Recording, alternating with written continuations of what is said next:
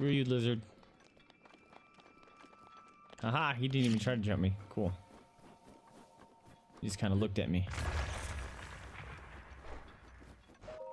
How is a moose hidden under that rock? Moose. Oh, oh, you're scared now? This is not a natural hiding spot for meese.